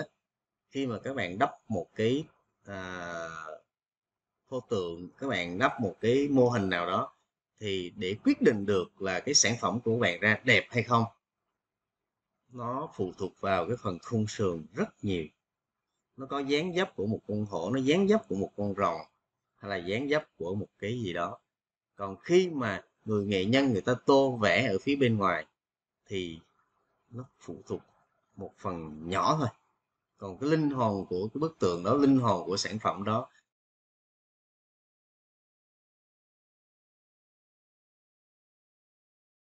thử nó chỉ là một cái thời gian rất ngắn là bạn có thể chuyển được. Bởi vì các bạn sẽ đặt câu hỏi input trong Java là gì? Output trong Java là gì? Vòng lặp trong Java là gì? Vòng uh, lặp vô hạn trong Java là gì? Vậy thì cũng là như vậy bạn chỉ cần đổi Java thành .NET bạn đổi Java thành chữ Python bạn đổi Java thành chữ PHP là bạn có được câu trả lời. Bên Java bạn có cái gì thì quản trị mạng như thế nào? À, kết nối SQL như thế nào? Bạn có thể hiện kết nối với lại serverless với lại tất cả kết nối ra web như thế nào? Thì cũng chính câu hỏi đó bạn hỏi thay một cái ngôn ngữ nào đó bạn muốn học. Và cái cách bạn tìm tài liệu bạn học đơn giản nhất đừng bao giờ hỏi một cái gì quá lớn đối với Google. Bạn chỉ hỏi cái cực kỳ nhỏ thôi. Ví dụ, lệnh for với Python. Lệnh while với Python. Key với Python, bạn sẽ thấy một điều rất thú vị, chữ seek key với Python. Và bạn chỉ tìm như vậy thôi. Bạn đừng có tìm một bài toán quá lớn. Và bởi vì bạn đã có kiến thức nền, thì bạn chỉ tìm những cái cực kỳ nhỏ của một ngôn ngữ, và bạn tự động bạn liên kết lại bạn ráp lại thành một cái ngôn ngữ mới, bạn sẽ học trong vòng rất nhanh. Còn nếu mà bạn tìm cái gì quá lớn rồi bạn thấy, ồ chữ này chắc Python khó học quá và C Sharp chắc học không nổi đâu. Kiểu này căng quá, khó quá, đừng đừng bao giờ tìm cái gì lớn hết. Tìm những cái mà Java mình đã làm được. Thì đối với ngôn ngữ mới, nó làm như thế nào? Một cái nhỏ đó thôi. Và mỗi ngày bạn tích góp từng hạt gạo, thì bạn sẽ có nguyên một thùng gạo yên tâm nha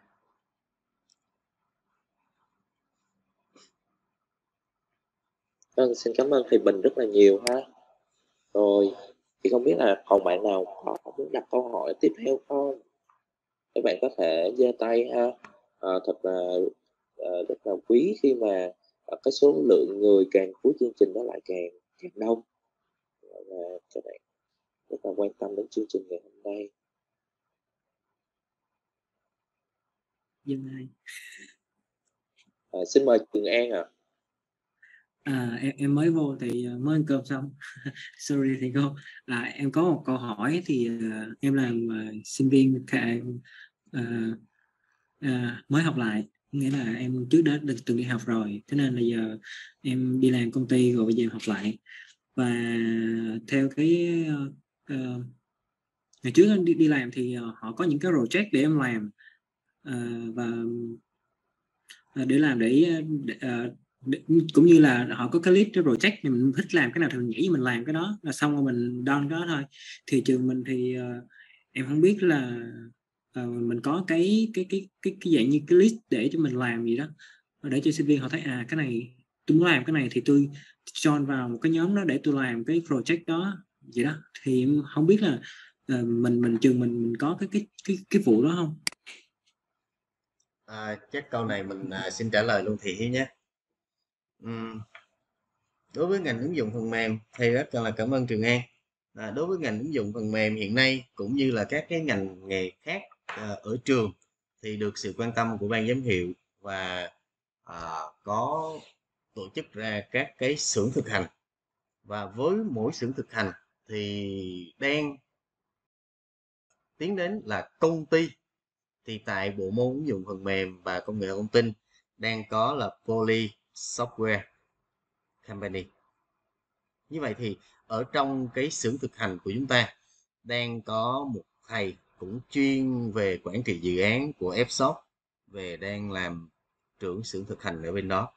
Và cũng có nhiều cái mức để mà cho các bạn à, zone vào. Ví dụ như là mức cơ bản là các bạn zone vào ở trình độ môn học để làm những bài tập thực hành của môn học. Mức độ tiếp theo là dự án tốt nghiệp dự án uh, thực tập doanh nghiệp. Mức độ tiếp theo là dự án thực tế. Như vậy thì nếu như mà em đang em đang học năm mấy uh, kỳ mấy rồi em em uh, mới kỳ kỳ nhất uh, okay. lớp 2 thôi thầy. Ok. Như vậy thì khi mà em kỳ nhất thì chuẩn bị đang có kế hoạch uh, triển khai cho xưởng thực hành của các từng môn học thì có thể em sẽ theo dõi và join vào xưởng thực hành từ môn học cho đến khi tốt nghiệp cho đến khi thực tập chuyên nghiệp. Rồi sau đó thì trong quá trình học nếu mà mình khá thì mình sẽ join vào những cái dự án thực tế mà được triển khai tại uh, xưởng thực hành. Em uh, theo dõi về xưởng thực hành của công nghệ thông tin và ứng dụng phần mềm nhé.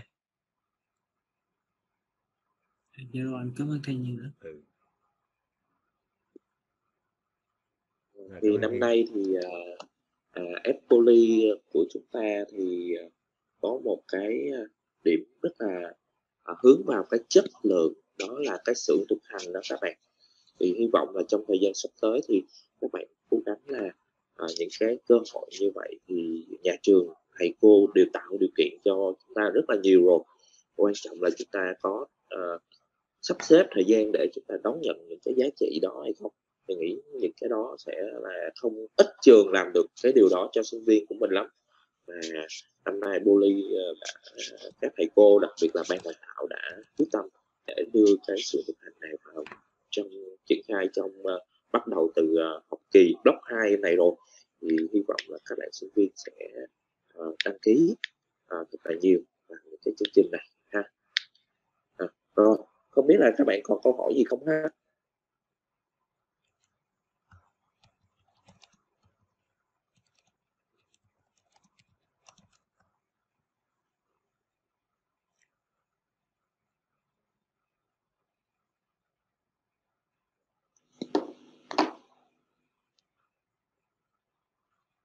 À chắc là các bạn còn à, không sao hết.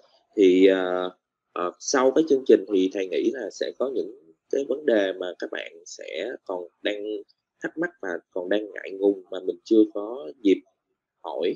Thì các bạn có thể à, à các thầy cô có thể à, chỗ chị Trinh chị có thể à, cho cung cấp cái địa chỉ email mà bên chỗ anh ta software của mình đó để các bạn có thể gửi những cái thắc mắc là một cái địa chỉ thông tin gì đó uh, để cho các bạn có thể đặt câu hỏi sau cái chương trình này.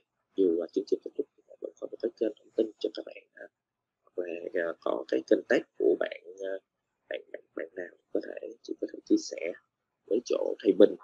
Thì thầy cũng sẽ gửi cho các bạn uh, trong bộ môn ứng dụng này mà à, chị Trinh có uh, gửi cho các bạn cái email trực tiếp của chị luôn ha. Thì chị là giám đốc thì các bạn biết là chị Trinh rất là bận nhưng mà viên của FPT của mình đặc biệt là Bully của mình đó. Thì chị cũng rất là dành cái sự quan tâm uh, đến cho các bạn. Thì chị thấy được rằng là uh, sinh viên của FPT thì nó mang tính chất thực tiễn trong cái chương trình đào tạo rồi nên ở đâu thì thầy chị cũng rất là yên tâm và quan trọng là các bạn làm sao để mình cố gắng để nỗ lực à chị để lại luôn cái số điện thoại luôn đó các bạn. Số điện thoại khá là đẹp nha. Chắc là số ngày tháng năm sinh của chị luôn á. Thấy một chín bảy tám đó các bạn. Là, là chị chị lớn hơn thầy tới 10 tuổi luôn á các bạn. Nhưng mà các bạn thấy là chị nhìn chị là chị cách thầy chắc là một tuổi thôi. Đó là ngày sinh nhật của chị đó. Dạ. Đó là hàng đặt á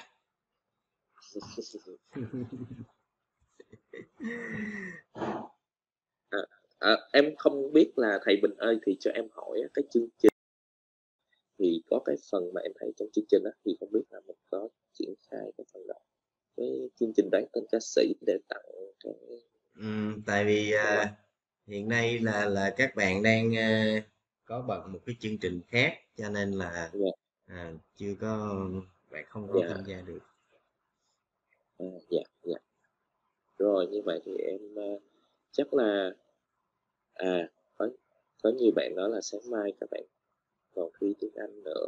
À, rồi à, thầy cô cũng rất là hiểu và rất là thông cảm cho các bạn. Thì những bạn nào đã có dành thời gian tham gia vào chương trình ngày hôm nay và cũng đã lắng nghe được những cái chia sẻ rất là thiết thực và những cái câu hỏi của các bạn cũng rất là sát sườn liên quan đến cái tương lai của mình thì uh, rất là cảm ơn các bạn thông qua chương trình VTalk này. Thì chắc là những cái số sau thì sẽ có những cái khách mời cũng sẽ hấp dẫn phù hợp hơn với thời điểm của các bạn. Thì ngày hôm nay thì uh, uh, thầy Bình uh, chị Trinh cũng như là thầy Lộc. Ngày hôm nay tuy là thầy vắng nhưng thầy cũng rất là quan tâm và sâu sát đến chương trình. Thầy cũng uh, hỏi thăm về chương trình đó. Thì uh, cũng cảm ơn uh, uh, các bạn đã đến uh, tham dự vào cái buổi uh, talk show của bộ môn ứng dụng phần mềm thì uh, thầy xin đại diện cho quý thầy cô và quý chị ở đây uh, chúc cho các bạn uh, chuẩn bị uh, cho cái hành trang tương lai của mình uh, thông qua việc tham gia vào những cái hoạt động của nhà trường cũng như là những cái môn học trong thời gian sắp tới các bạn sẽ đạt được những cái kết quả tốt ha đó. thì không biết là chỗ chị Trinh và thầy Bình có muốn uh, gửi gắm một cái lời gì trước khi chia tay các bạn không ạ? À? chị cũng uh, thay mặt ờ, uh, Anta Software cũng cảm ơn uh, thầy cảm ơn thầy Hiếu cảm ơn là thầy Lộc đã thầy Long nữa đã mời à, đã mời à, chị tới tham dự như chia sẻ à, những à, câu hỏi của các bạn cũng như là những cái kinh nghiệm à, bản thân cũng như những cái chị đã gặp và chia sẻ lại cho các bạn thì thật sự hôm nay là cái đề tài hôm nay chị rất là thích luôn và những câu hỏi đặt ra câu nào cũng khó hết. Rồi một lần nữa cảm ơn uh, các thầy và cảm ơn các bạn rất là nhiều. Càng về cuối thì càng tham gia tham gia rất là đông. Thì cũng rất là vui thì à, à, các bạn cũng đã rất là quan tâm với cái đề tài này. Và một lần nữa cảm ơn mọi người. Dạ thì à, cũng à, thay mặt bộ môn cái à, chương trình này là do bộ môn à, đề xuất đề xướng với nhà trường cho nên là cũng cố gắng duy trì thì cũng để mỗi số đều mời được những khách mời rất là hot à, liên quan đến các cái chủ đề là trân trọng chỗ thầy Hiếu và chị Trinh đã nhận lời tham gia cùng bộ môn. À, qua chương trình này chúng ta có thời gian trao đổi tương đối ngắn nhưng nó là cầu nối để thầy cô, doanh nghiệp cũng như là các bộ môn à, có được sự quan tâm của các bạn đối với thầy cô cũng như là thầy cô đối với các bạn. Nếu mà các bạn có quan tâm nữa sâu hơn thì chúng ta có group Zalo và có thông tin của chỗ chị Trinh. Các bạn có thể trao đổi thêm để chúng ta có thể có nhiều cái vấn đề có thể trao đổi trong công việc trong học tập cũng như trong cuộc sống. Để mà làm sao chúng ta có được những người bạn tốt hơn xung quanh ta thì hy vọng công việc nó sẽ tốt. À, rất cảm ơn các bạn đã dành một thời gian cuối tuần ngồi cùng thầy cô và anh chị ngồi cùng các bạn để chia sẻ một lần nữa cảm ơn các bạn rất nhiều cảm ơn chị trinh cảm ơn thầy hiếu Rồi, xin chào cả nhà, chúc mọi người ngủ ngon và chúc các bạn sáng mai thi tiếng Anh thành công nha. Rồi, cảm ơn chị Trinh, cảm ơn các bạn. Chúc buổi tối vui vẻ. Buổi tối à, thứ bảy hạnh phúc. À, chúc các bạn buổi tối vui vẻ nha.